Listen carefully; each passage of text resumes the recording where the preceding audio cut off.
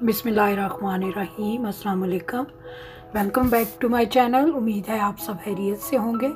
आज मैं एक स्वीट डिश बता रही हूँ जो कि क्विक बन जाने वाली है और सर्दियों की मुनासबत से ये है वॉलनट और कोकोनट बर्फ़ी। क्योंकि सर्दियों में थोड़ा नट्स वगैरह खाने को दिल करता है तो इसे बनाना बहुत आसान है, जल्दी बन जाती है और बहुत टेस्टी है। चलें देखते हैं इसे कैसे बनाते हैं। सबसे पहले हम वॉलनट्स ले लेंगे। तकरीबन ये मैंने हाफ़ पाउंड होंगे और फिर उनकी गिरियाँ निकाल गई हैं। इन्हें हम बारीक कर लेंगे, लेकिन थोड़े ये क्रश नहीं होंगे।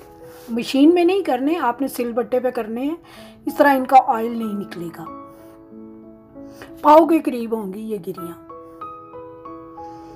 तो इसके लिए मशवरा मेरा यही है कि आप हमेशा वॉलनट्स जो है ना, ये कवर के साथ लिया करें, छिलके के साथ। तो वो काफ़ी अरसा पड़े भी रहें तो कड़वे नहीं होते, लेकिन गिरियाँ कड़वी हो जाती हैं। अब हम एक पैन में थोड़ा सा दूध डाल लेंगे, ये फुल फैट मिल्क है। इसमें हमने ये डेसिकेटेड कोकोनट है, जो थोड़ा मोटा होता है, वो वाला डालना है। ये तकरीबन वन कप है। और इसके साथ जाएगा इसमें हाफ़ कप कंडेंस मिल्क, और फिर हम वो नट्स शामिल कर लेंगे, जो हमने बारीक किए हैं। बहुत टेस्टी बर्फ़ी बनती है और बड़ी हेल्दी है। विंटर में चाय के साथ, शाम के स्नैक के तौर पर खाने के लिए बड़ी ज़बरदस्त चीज़ है।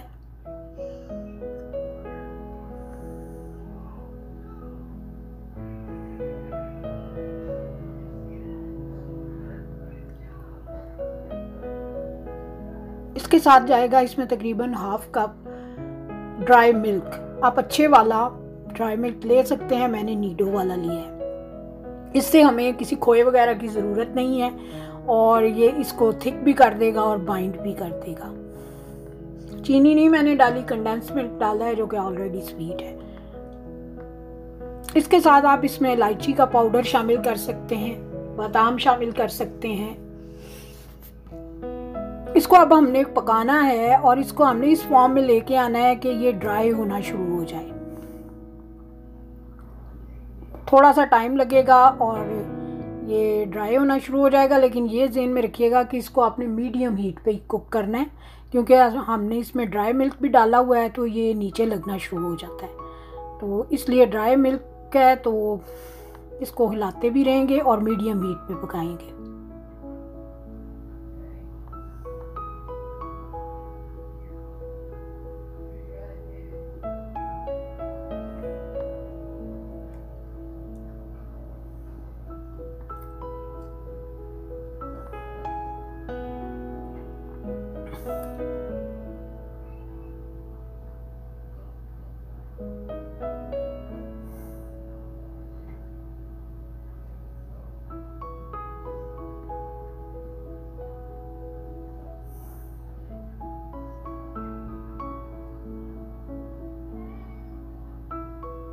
इस तरह जब बबल्स बनना शुरू हो जाएँगे तो ये पकने के करीब है आप।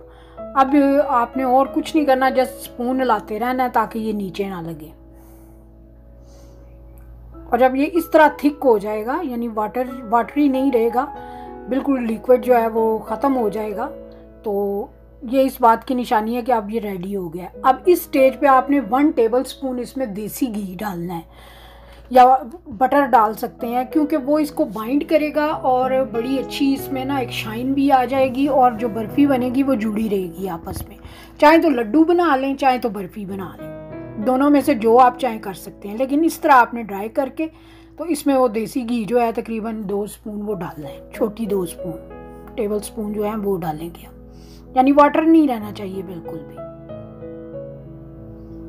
इसके बाद एक बर्तन में मैंने ये ऑयल लगा लें, घी लगा लें। अगर बल्कि घी लगाएँ ऑयल ना लगाएँ, घी का इफ़ेक्ट अच्छा बनता है, वो इससे जम जाता है जो। और डाल के इसके ऊपर ये वॉलनट्स लगा के इसको थोड़ी देर के लिए फ्रिज में रख देंगे और फिर इसकी कटिंग कर लेंगे। अपनी मर्ज़ी से आप अपनी साइड से टुकड़ियाँ काट सकते हैं। चाहे तो आप इसकी बना लें टुकड़ियाँ, चाहे तो आप इसके लड्डू भी बना सकते हैं। बच्चों को देने के लिए, बड़ों के खाने के लिए बड़ी ज़बरदस्त बर्फ़ी है। इसे ज़रूर ट्राई कीजिएगा और मुझे बताइएगा कि आपकी ये बर्फ़ी कैसी बनी। इस दुआ के साथ कि अल्लाह ताला हम सब के घरों में, उम्र में, रिस्क में, सेहत में बरकत दे। आमीन। और हम सबको नागानी आफात से बचाए और हमारी मुश्किल आसान फरमाए। आमीन सुमा आमीन। Stay happy all stay blessed अल्लाह हाफिज़।